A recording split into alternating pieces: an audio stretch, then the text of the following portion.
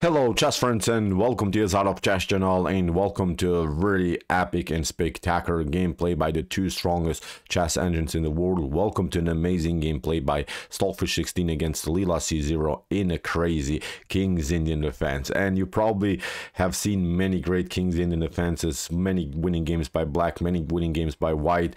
Uh, this game is really, really something different. I've seen many, so many great games played by Hikaru Nakamura, Garry Kasparov, all also all of the old masters used to play the King's Indian with the black pieces, and also many epic games are won by white, but this game is really something else with really crazy immortal tactics all over the board. So put your seatbelts on and enjoy inverted one of the most spectacular King's Indian defenses that I've seen in my life. So with the white pieces, the fish open with move d4. We have knight to f6 by Leela, c4, g6, knight to c3, bishop to g7, e4, d6 leads now into the standard position of the King's Indian defense. We have now the normal variation. Black is later trying, of course, to break uh, white pawn chain with the move e5 or, if necessary, with the move c5. The fish continues with knight to f3.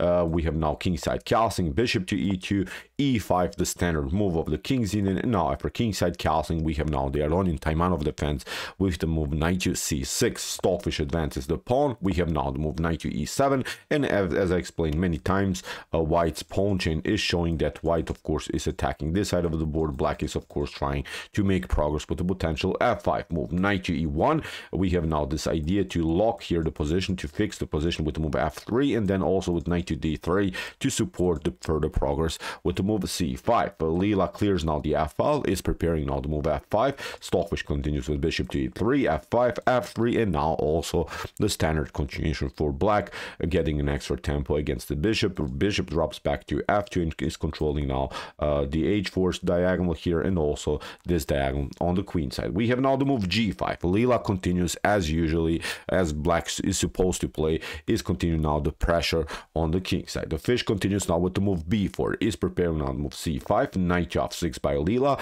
clearing now also the light square diagonal for the for the bishop of course and this light square bishop in the king's indian as we mentioned many many times is uh, simply the best minor piece on the board. It supports, of course, further this progress with the move g4. Is, of course, also in some lines, if white plays carelessly in some lines, you see also many times this bishop getting sacrificed maybe for the h pawn. So black has now this dominant position on the king side but if the attack splashes if black doesn't do anything um, uh, with this attack on the king side then white because of the space advantage here should be uh, much much better. So white uh, has to defend his position and if white defends it somehow then uh, i think from an endgame's perspective white has always a pleasant position. But now the real fun starts. The fish continues now with an aggressive c5 uh, in chess history, knight to g6 has been uh, many times the continuation. There is now also the legendary game between Jeroen Piket against Garry Kasparov uh, back from 1989. Please check it out. Also a legendary gameplay by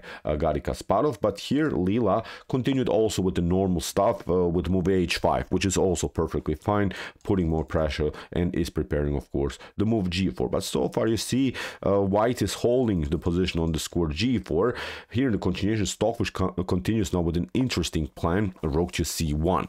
And this move is very important because actually it does damage here around the square c7. Usually black could be challenged on the seventh rank. For instance, if the rook somehow gets on the seventh rank, then there are also some tactical possibilities here for white. What should you do? In chess history, bishop b6 has been played, also again knight to g6, and also the move g4 has been played many times. Leela continues now with an interesting sideline, uh, theoretical novelty, but the game will again will come to positions that we have seen in chess history, but not in this particular move order. Uh, Rook to f7 by Leela is, I think, also perfectly fine here. Leela is trying, of course, to play bishop to h6, rook to g7, and then to support the further g4 move. Is trying to get the rook somehow on the g file and creating some dangerous stuff against white's king. The fish continues now with, of course, the queen side uh, attack here with knight to b5, and this is now the beauty of the opposite side attack game.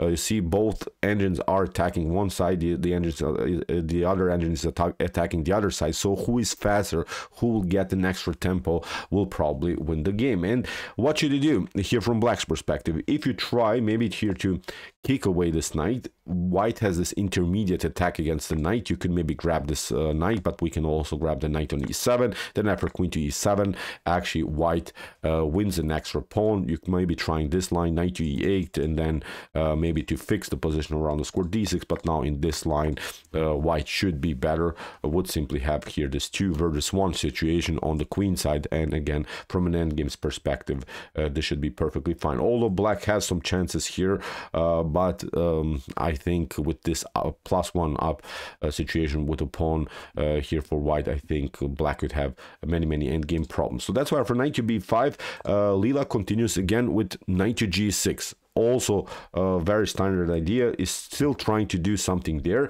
Stockfish continues now with c takes d6 and after c takes d6 knight takes a7 again it seems so that something is wrong here for black because black lost the pawn but actually the knight is now a little bit misplaced. And this maneuver this idea uh, this defensive also approach by black has been seen actually many times in chess history. It seems as i said that black should be losing here because uh, white gained the pawn but white uh, get challenged now in a beautiful way with the move bishop to d7 and actually it's very hard for uh, white to get the knight back into the game. If you play here bishop to b5 then rook takes a7 will happen. Then we have this one. Rook takes uh, bishop takes d7 rook takes d7 and even if you grab now uh, the rook here um, on on a7 then it gets very complicated with the move b6 you see now uh, this bishop is locked out now. You're trying maybe to defend it but now with queen to a8 i would say really an unclear position. Uh, black will eventually get the uh, get the bishop uh, here and will have three minor pieces against um, one minor piece and a rook here from white's perspective.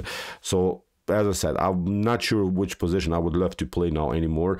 Uh, white has, of course, again, this two versus one uh, here on the queen side, but um, when it comes to maybe this uh, king side attack again, um, white could have many, many tactical problems. Even if you play knight to b5 here, if you're trying to try to get the knight back into the game, then actually black can uh, take out the knight, and after bishop to b5, now the bishop is not controlling anymore the g4 square, so that's why g4, uh, I think think could cause a headache here for white and you see the bishop is not on e2 anymore. Uh, h4 will happen g3 and similar stuff. Suddenly i think black could have a nice attack on this side of the board. So you see after move uh, knight takes a7 uh, the issue for white is here that white cannot get the knight easily back into the game. So that's why white has to search for different opportunities. Leela continues with bishop to d7 now we have a4 uh, stockfish is trying now to get again the knight on b5 but Leela continues obviously with an attack with the move g4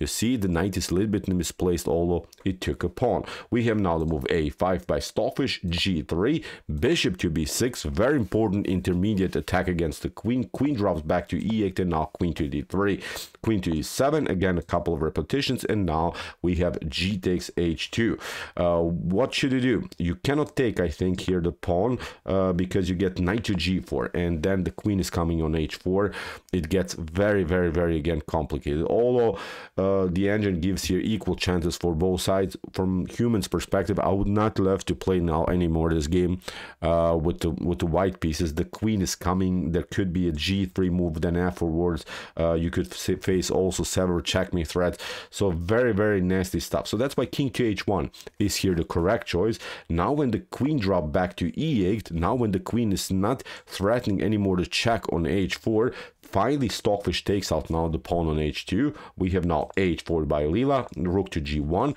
a knight to g, a knight to h5, preparing of course the hop on the square g3. You see, Leela is doing really some damage here. Very, really active and beautiful, sharp tactical play by Leela c0. But Stockfish is of course also uh, a great, not only a great attacker, Stockfish is of course also a great defender. Stockfish finds now the only, I would say, good move uh, here for white knight to d3 with the idea to reroute the knight on f2 and from the square f2 uh, the knight could control the h3 square but also the g4 square this is very important because it's not allowing further progress here by by black then with h3 or maybe with some tactics that we have seen previously around the square g4 very very important defensive maneuver here by stockfish. We have knight to g3 leela gets now this knight on a very unpleasant square. Stockfish plays now knight to f2 controlling both of the squares. Knight to f8 again with the same idea maybe bishop to f6 or bishop to h6 rook to g7 or maybe rook to h7 trying to include now the rook into the attack. But now stockfish shows here also great counterplay. As I mentioned, the position could crack for black on the 7th rank. Stockfish plays now important rook to c7 is actually also in some lines trying to give up the rook for a bishop here on d7 because as I mentioned also in the beginning of the video the light square bishop of blacks is usually the best really the most powerful minor piece in the king's indian defense and now they're as i said the bishop is always targeting the h3 square so that's why if necessary white can sometimes release the pressure can some, somehow defend his position in a good way by giving up the rook for a bishop. Although it's an exchange sacrifice but then you don't have to worry so much here on this diagonal. Here we have bishop to f6 by Leela. Stockfish first of all takes out now uh, the pawn on b7 h3 now you see uh, Leela is trying to break the position here but now after g takes h3 knight to h7, trying of course to get the knight on g5 and then hit the h3 square. Stockfish finally plays now uh, this tactic that we have talked about. Rook takes d7, giving up simply the rook for a bishop. Stockfish doesn't want to tolerate such an active piece by Leela. We have queen takes d7. Now finally knight to g4, locking everything here. Solid structure, solid position, solid defensive uh, setup here for white. Finally, sort of house that Stockfish built and has now also the opportunity to hide with the king on g2 and everything is perfectly fine. When it comes to again to an end, endgame's perspective, this exchange sacrifice was very good because Stockfish also took here two pawns on the queen side. So with the support of both of these bishops, if these pawns are starting to march, uh, then, again, many, many endgame problems here for black. We have king to h8. The Leela triangle, of course, also to include now this other rook into the game. Stockfish continues with bishop to b5, queen to e7, knight to c6, queen to f8, and now bishop to f1. Stockfish would love, of course, uh, here this continuation when maybe Leela takes, then we pick up this one, and there's simply no good attack uh, anymore for black and maybe knight to g5 but then we go king to g2 rook to h1 again uh, building a solid structure on this side of the board. After bishop to f1 we have bishop to h4 Leela is trying now to include also the bishop into the game.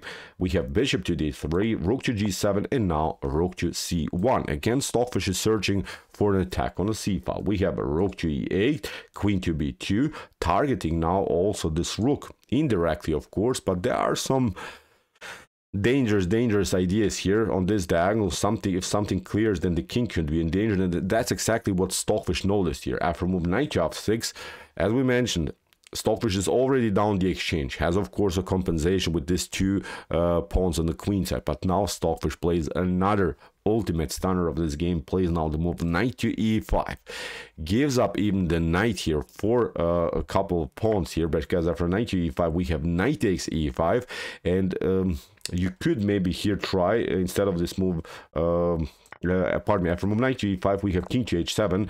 Uh, here, Stockfish plays now knight to g4 with the idea to play the move e5 and liberate now the long diagonal for uh, the light square bishop. You see, Stockfish created here two connected mobile pawns in the center of the board and also here Stockfish created two connected mobile pawns on the queen side. So Stockfish has gained now four pawns for a whole rook. When it comes to pure uh, um, uh, material count, I think uh, this in some lines should not be enough, but these pawns are rolling, these pawns are marching, and also Black's king now is pretty endangered. What should you do? If you retreat here uh, uh, with your king on g8, uh, then there is this one, knight to h6. You get a check if you, of course, are trying to get out of this light square mess. Then you have to step back with your king to h8, but now bishop to c5 is also very dangerous. Look at this, the queen is actually trapped. You have to now cover with, the rook, and now it's a different story. Stockfish will get now uh, the rook for a bishop and has now, of course, here the dominant position with these two pawns, with these two pawns. So now I think it's a completely, completely winning position. So let's see different options. After move knight to g4 that Stockfish played, you could also try maybe knight takes g4, but then after h takes g4, uh, finally Stockfish will build really a firm structure in the center of the board. And notice again, Stockfish is down a whole rook, but has of course a compensation in pawns. You could maybe try king to g8 in this position again, avoiding this uh, dangerous stuff uh, on the light square diagonal, but now e5 anyway. And now after something like bishop to d8, you push the pawn further. You're trying maybe to uh, get this rook uh, in order to stop somehow white's progress with the pawn, but then king to g2, you can even improve the position of the king, queen to g7, and now with rook to c7, I'm not sure how black is going to stop now. Uh, all of these pawns uh, here on the queen side and also in the center of the board. Bishop to c4 is also a nasty threat. So uh, here is obviously, I think, a completely, completely winning endgame here for white. Although white uh, has lost a rook with this beautiful tactics uh, all over the board. But after knight to g4, that's why knight takes e4 uh, here by Leela. Leela is trying also to give up here some material to somehow stop, as I said, this progress of these pawns in the center of the board. Stockfish plays now knight to f6, the correct choice, because after bishop to f6, we have this one, bishop to e4. What should you do? If you play here rook takes e4, then queen to c2 will eventually also um, uh, grab the rook now on e4, and you can maybe try, try some dangerous stuff, I don't know, with bishop to e5, maybe f3, then uh, trying to deliver some dangerous checks, but actually white can defend this position very easily with queen to c8, you're trying your check. You're trying even your checkmate here on h2, but now with queen to f5, you simplify the game enough. Uh, after a couple of trades of queens, of course, this is completely, completely winning endgame here because of this, especially because of these two uh, uh, connected pass pawns on the queen side. So that's why for bishop to e4, uh, Leela retreated to g8. And when we watch now this position, uh, Stockfish is down the exchange but has of course many many pawns as a compensation. So obviously a much much better position here again for white. We have bishop to d4 simplifying the game here by stockfish. Queen to d6 uh, stockfish pushes the pawn further. We have now rook to g1 again a nice simplification by stockfish. First of all uh, grabbing the rook. After f takes g3 stockfish plays now a beautiful calm king to g2 doesn't want to take out the pawn immediately because then you're vulnerable again to some checks. Now when Leela first of all delivered the check now Stockfish took uh, the pawn on g3 and you see now there's simply no good check uh, by the queen that's possible and now the pawns are marching. Leela takes out now the pawn Stockfish pushes this one delivers a check and now a new check pushes simply the pawn further. We have queen takes d7, and now after bishop to e4, uh, here obviously it's game over even if you try here, I don't know, rook takes e4, then we simply pick up this one. Maybe you can deliver a couple of checks, and maybe after queen to g4, you can again trade off the queens. Of course, white and black don't have to play the game like this, but I wanted to show you what's the, what's the actual threat, simplifying till the end and with two, uh, two pawns obviously game over. But after bishop to e4, Leela tried um, uh, king to f7, Stockfish delivers a check, and in this particular position, Leela c0 resigns. So what's the issue? If you play king to f6, you lose the queen. If you play here, play here king to uh, e6, then bishop to uh, f5 is winning the game again. Game over here for black. So Pooh, pooh, stunning, stunning, dirty stuff um, in the King's Indian defense. A very epic attack by Stockfish. First of all, giving up the rook for a bishop, then sacrificing the knight just in order to create this central pawn mobility.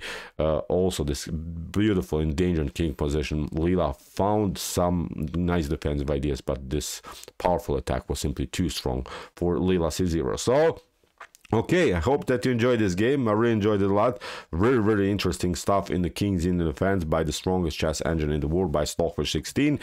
If you want to see more beautiful, sharp, aggressive chess like this, uh, check out our Come to Chess Games Play by Computer series with some more play games by Alpha Zero, Leela Zero, Stockfish, and many, many more. And if you like this content, hit the subscribe button. See you soon with some more videos. And what do we say in the end? Chess is the best, of course.